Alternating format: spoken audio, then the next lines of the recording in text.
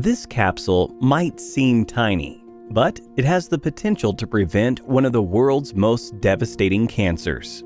There is a critical unmet need for a non-invasive and patient-friendly screening method for the detection of precancerous polyps in the colon.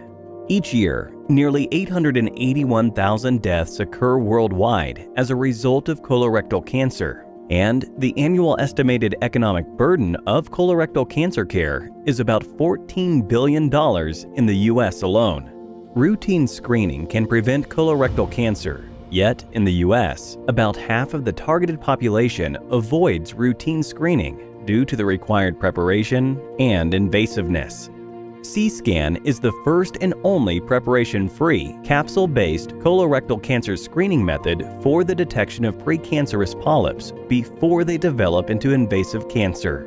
Screening with C-SCAN is non-invasive and does not require preparation or sedation, allowing the patient to continue their daily routine with no interruption. The C-SCAN system consists of three elements.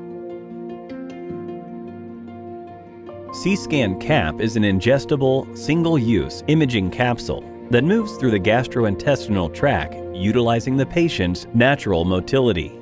The innovative low-dose X-ray radar imaging technology can see through the gastrointestinal content and scan the unprepped colon. The C-SCAN CAP scans the inner lining of the colon in a 360-degree arc. It records imaging and motility data as it moves along the colon path.